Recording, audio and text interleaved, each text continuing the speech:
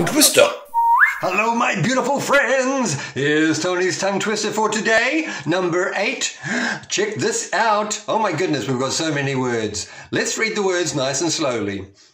Six sleek swans swam swiftly southwards.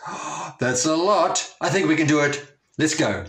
Six sleek swans swam swiftly southwards.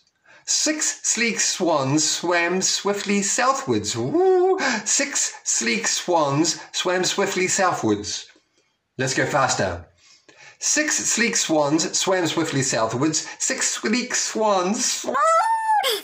Six sleek swans swam swiftly southwards. Six sleek swans swam. Oh my gosh. Six sleek swans swam swiftly southwards. Six sleek swans swam swiftly southwards. Six sleek swans swam swiftly southwards.